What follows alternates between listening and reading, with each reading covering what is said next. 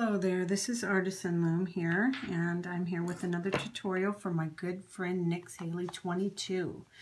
This time we are going to be doing um, her locks that she uses to close up her bracelets. So, this is her Bedazzled Royale, and right here is her lock that she uses instead of a C-clip. It just gives it a little more elegance. Um, this is called the single lock because you're only going to cross over once. So um, I'll be showing you how to do this one as well as the um, shoelace. Let me see if I can find it. Her shoelace um, cuff, or excuse me, um, lock. It's right here. It's um, it's got four jump rings on either side and then a shoelace through. So right now I'm going to be showing you this one and then at the end I'll come back and show you how to do the single one. But right now we're going to do this one and we're going to do it on a chained uh, border. So um, let me show what you what you're going to need. What you're going to need today are some jump rings. You're going to need eight jump rings. Well, or it just depends on which bracelet that you're going to be doing. I'm doing a nine pin bar uh, King's Armor bracelet. That's what I'm going to be looming up, or uh, not looming up, but um, doing the lock for. And this is the King's Armor that I did in my first tutorial that's on my channel. And um, I'm going to put the lock on it. And so you will need jump rings. This one I have opened already.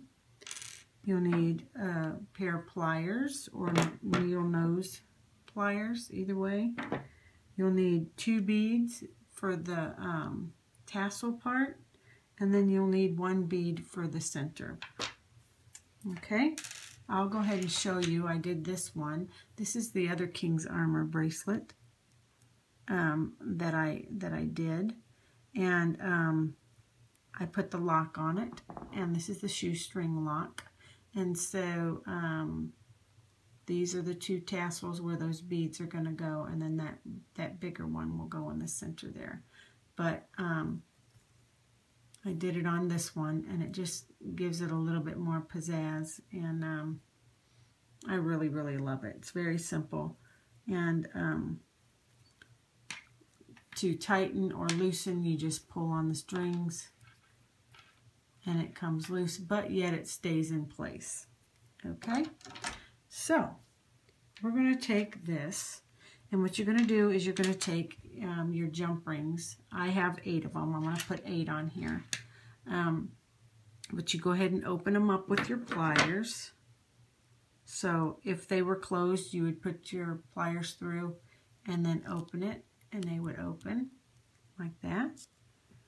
Just enough to be able to get it through.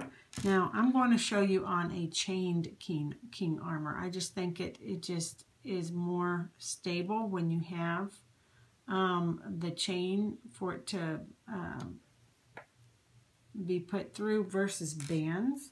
Now, if you choose to do bands, you can do it um, through the bands. You would just have to come in, either go in through the center of that starburst or come in and, um, well, this side has the cap bands. I think I messed this design up when I made it as far as my copy of it.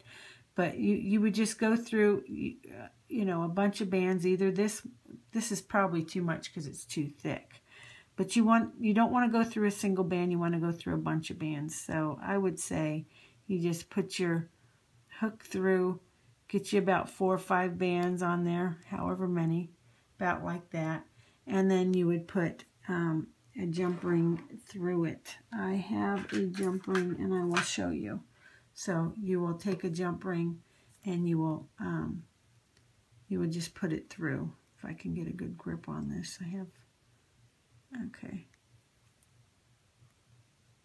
Try to get through all the bands. I may have missed one. But you get what I'm what I'm trying to do. But you would um, get it, and then that just gives it a little bit more secure fit. Now, if you chose to do it through one band which some people do, I don't recommend it. Because see, it just has no give. And then when you go in here and you close up your your um, jump ring as good as you can get it, sometimes the jump ring opening gets put right over the band and then when you go to put your bracelet on, what happens? It goes right through. It stretches out and then it slips through that little jump ring. That's why I recommend doing it on a chained border, but certainly you don't have to as long as you go through four or five bands just to um, so that you have more on the jump ring. It won't fall apart then. Okay, so you're going to go in and um, through the back of the bracelet and what I've got here is I've got four on each side. So this is the corner one. I'm going to go in and take my jump ring and go put it through the chain and then I'm going to close it. Just like that, okay? I'm going to go through and I'm going to skip one and do this one. So I'll go in through right here and I'll take it and I will close it if I can get a grip. Okay? And I'm going to skip that one. It's not attached to any, see the cap band, there's no chain attached to um, from this one to this one. So we'll skip this one and we want to do the mirror image on the other side. So we will skip this one and go in through that one. Okay. So I will go in through this one and this one only, not the bands. Okay, and I will close it. Okay, one more. You're going to skip this one and go to the end. So it'll be exactly where that one is. Okay, really simple. I can just, I don't think I have this open enough to be able to get through my chain. So I'm going to open it up just a little bit more. Okay. Go through that last one at the corner. Close it up. Just like that, okay? So now I've got four of them on here, okay? You want to do the same exact same on uh, thing on this side, and I've already done it, so I'm going to spare you. You can do the exact same thing you did here, here. You started off in the corner where there was four of them, you started in the corner, skipped one, did one, skipped one, skipped one, did one, skipped one, and then did one. So it's the exact same, you know, to where it's going to lay properly. Okay? So at that point, you can go ahead and finish that. I'm going to let you do that. But um, you need to get your cord ready or whatever you're going to use and I'm going to go ahead and use um, the leather cord okay and you just get you a big long piece of it I don't know exactly how much we're going to need we'll cut it and trim it as we go okay so what you do is you take your cord and you go through the top of that first one and you pull it Okay? You're going to take the other side and you're going to go down to the top of that one. And pull. Okay?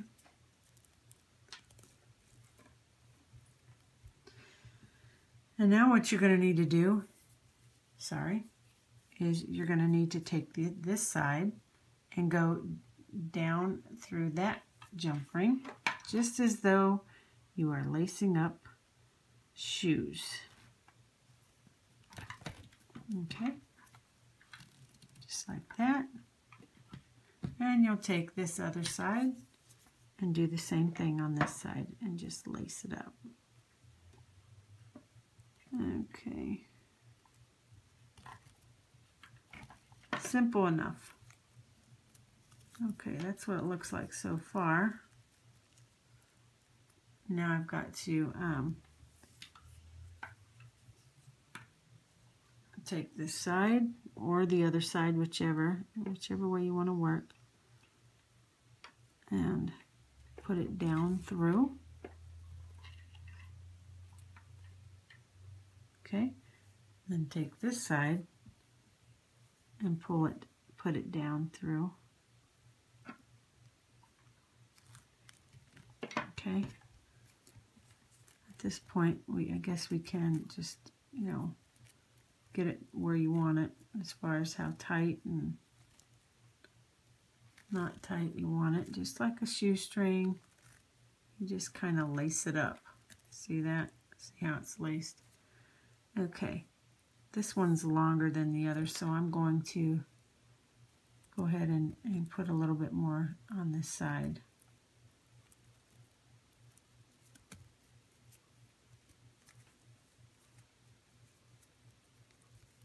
Okay, come on. Don't give me a hard time now. Okay, so then they're almost even. Okay, so at that point you do the, you conti continue this side through.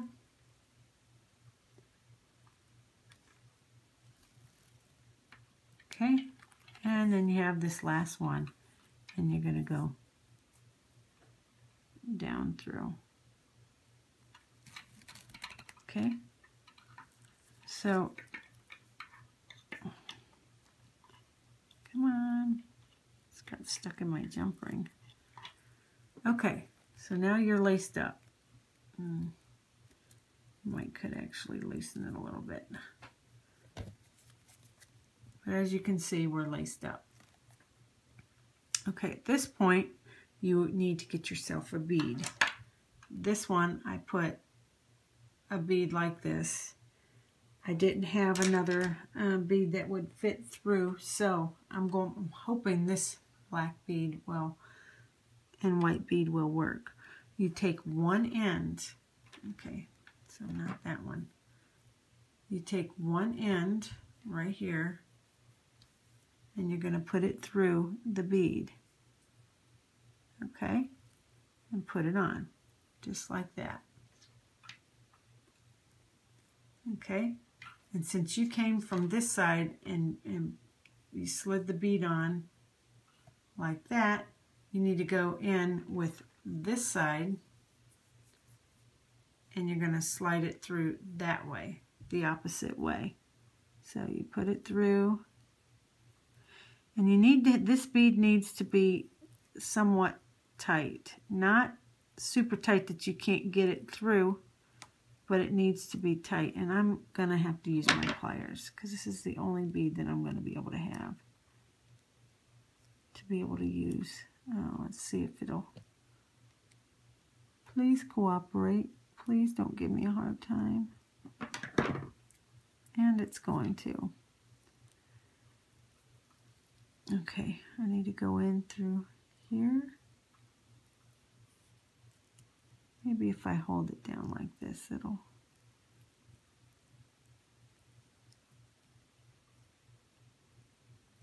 Hmm. I'm going to snip the edge. Maybe that's what I need to do. Just get a fresh piece where it's nice and not frayed. I'm going to put it through. And I think it might up. It's trying to come up through. I got most of it, so at this point I'm going to grab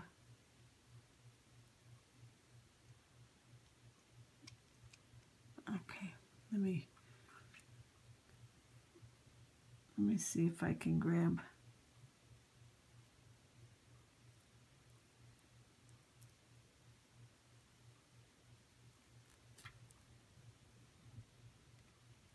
get a grip on it. I think I may got it. Yep. You just need to make sure it's tight but not too tight. Mine's tight because I've got I've got this braid that I've got to try to get through. Okay, so basically you're going to go that way. And this one will go this way. So one's going one way, one's going the other. You see that? You went with this cord, you went that way. And then with this side of the cord, you went that way through the bead. So now it's on there. See? Let me see if I can, if you can see it a little bit better. See that? Okay, so now that you have that part done, we need to get our other beads out, and that's going to be where the tassel is. So what we do is we take the end, and we've got to put a put it through a bead, a smaller bead. You know, it doesn't doesn't have to be super tight, but doesn't have to be, needs to be tight enough to where it's not going to slide off. And I'll slide it on, and then I will tie this into a knot. Okay, it's already unwinding, but that's okay. I tie it into a knot just like that, okay? And then the bead just slides down and it stops it from going through. So at that point, I'm just going to cut it off just like that. Okay, so I'll take the other side and do the same thing. Take it, put it through the bead, slide it up a little farther to where I can get a grip, tie it into a knot.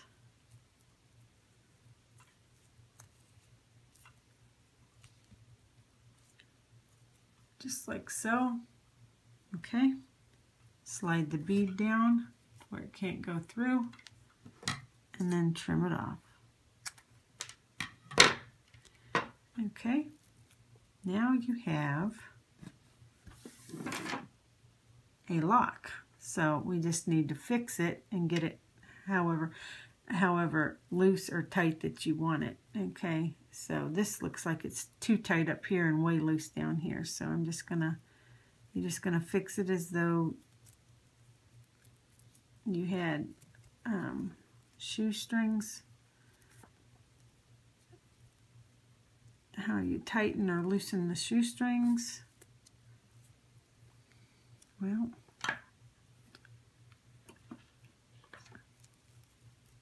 okay. So that's basically what you do. And um, that's what I well, I'll, I'll show you. This, this bead needs to be a little tight, not super tight, but tight enough to where it doesn't slide around, but loose enough to where you can slide it if you pull it. Okay, see that? See how I'm pulling it? It can still slide. So that's what you're looking for. It needs to be tight so it doesn't slide around on it, but it will slide if you push it through. Okay, so you just get this however you want it. Like I just said two seconds ago, I'm repeating myself. Um, but that's what it's going to look like all laced up. And these are your little um, tassels. Now, if you pull on one side,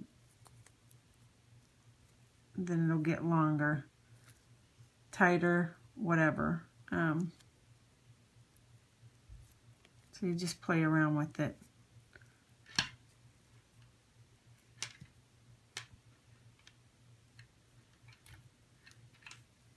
I kind of want them to be somewhat even. So then I have to make concessions up here. Okay. So there you go. Sorry if I was off camera. Looking around the camera to try to see what I'm doing. But that is the lock. And this is what dangles. Now, if you don't like it this loose, meaning this long of a dangle, all you do is you um, you just trim it. You get it however tight that you think you're going to need it by trying it on. And then um, you can slide this up, tie another knot, and trim it to make these little tassels a little bit shorter. Totally however you want to do it, okay? Um, let me see if I can get this to where I can get it on to show you how it works. I'm going to loosen it up just a little bit. and I'm going to try to put it on. I'm going to put it on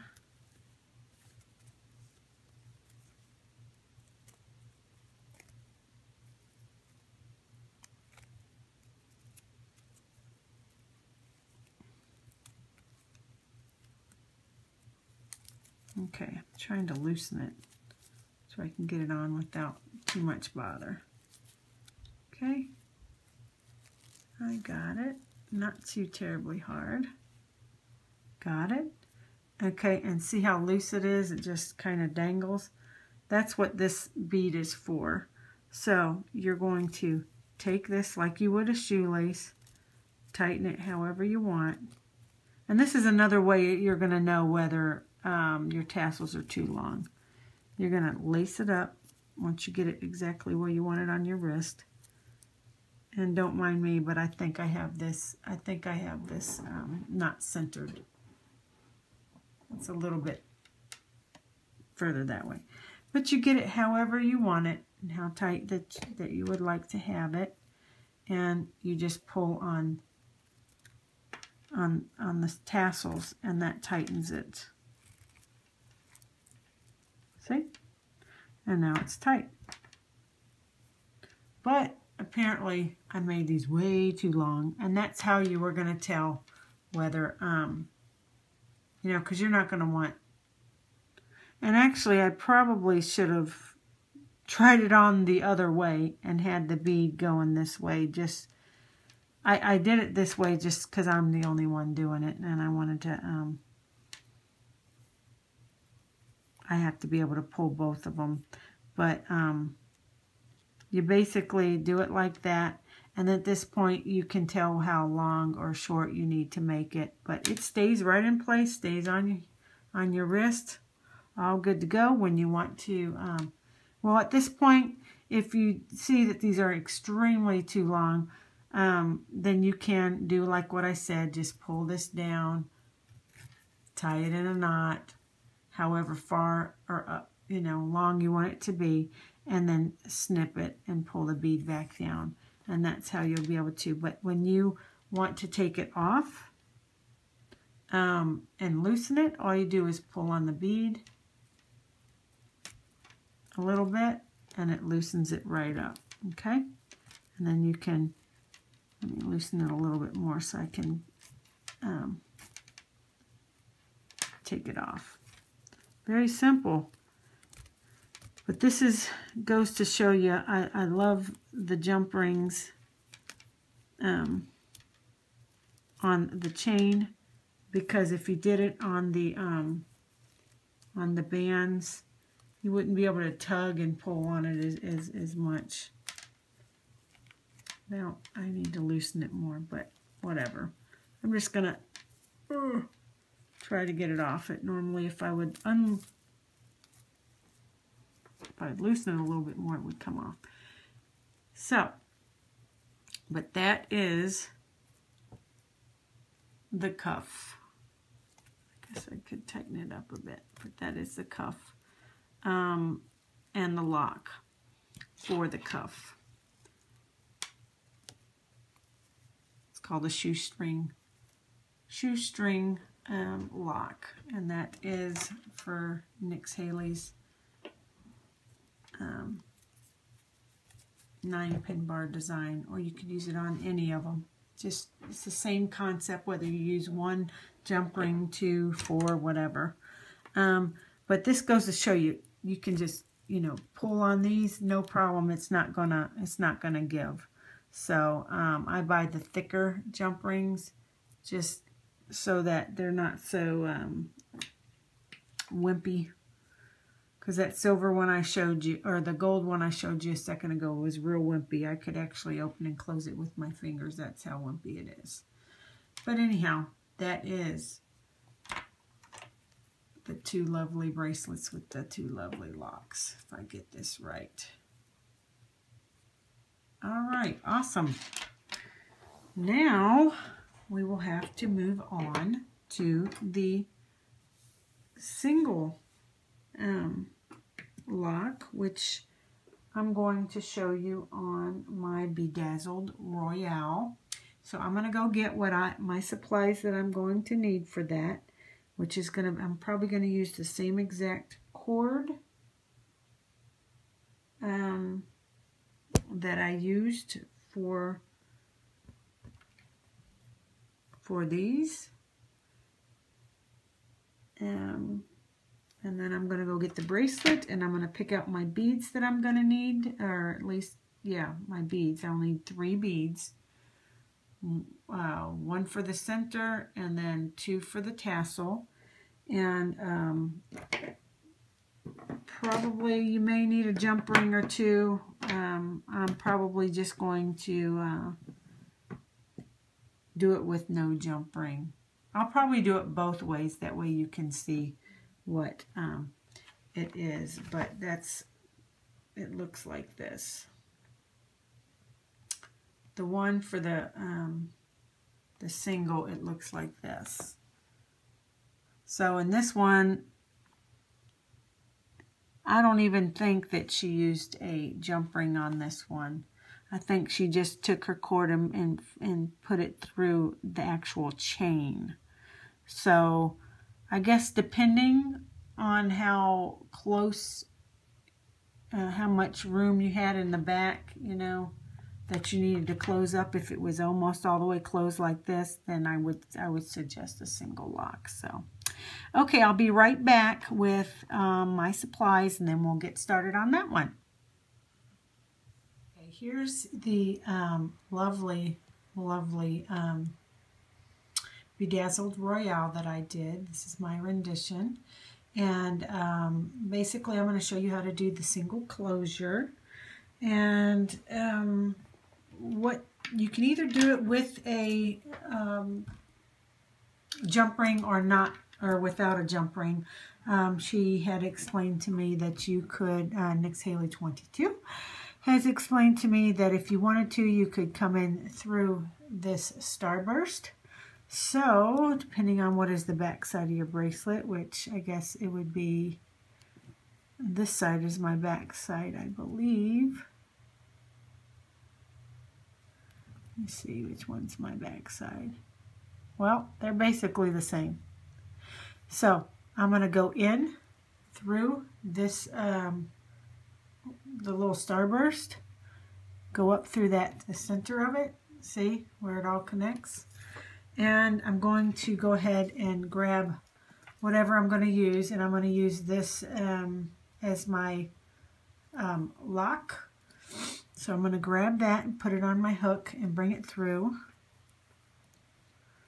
if I can do that might be another way you could put it on, but that's the way I'm going to do it. Just make it simple because it's not that hard. Once I get part of it through, then I can just pull it. Okay, just like that. Okay, and you're going to do the same thing on the other side, which I guess I'll just pull this all the way through. Do the same thing, come up from the bottom, grab this side of the if it's big enough to be able to fit on your hook, just um, be able to, to pop it through the center of that starburst. Bring it through just like that. So now you have just like this. Okay? And that's what the lock's going to be. So you go ahead and get you a bead that both of these can fit through. Okay? So you're going to take the side, it needs to be a wide enough bead where both of these strands can um, can fit through, but it you don't want it too loose. You want it to be like a snug fit. And I haven't, let me just see what I can come up with this one. This goes through, okay, just like that. Now that you pulled it through here, you got to take this side and you got to pull it through this side, just straight up, okay which makes it harder because I have this chain with this little loose, um, or the little chain that's in, intertwined in between the black leather. So I'm going to try to put it through the other side. And it's going to be a little difficult just because of these little nubbies. See if I'm able to pull it through. Got part of it coming through. Yeah, I got it. I think. Yeah, I got it. So I got it to come through. Okay. So now we've got our lock. You just pull on it to close the lock. Just like that. Okay. So at the bottom here, you are going to take another bead that fits through. Okay. Like I said again, I've got this where it's coming loose because I cut it. I'm going to try to, if you use a straight cord, it's so much easier, but this is all I got. I only can shop at Walmart, so I kind of limited on my, see, and I got part of it to go through, but not all of it. I'm, I'm going to have to hold it real, real good. It's really not hard, it's just I have the, the junkiest stuff to work with, but we're going to make it work. Okay, I got it to go through, I believe, if I can grab the end. There we go.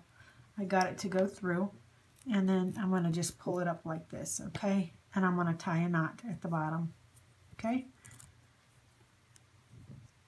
Make a knot.